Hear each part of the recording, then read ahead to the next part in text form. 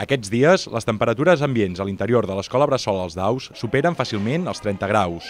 Des de divendres, l'Ajuntament va instal·lar-hi uns ventiladors per apaivagar la sensació de calor.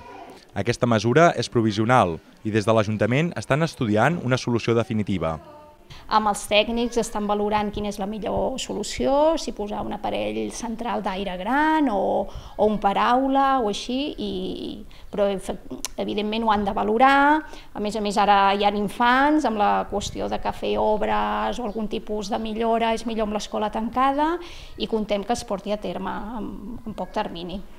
La solució dels ventiladors ha arribat després d'una visita ara fa dues setmanes a l'escola del nou equip de govern municipal.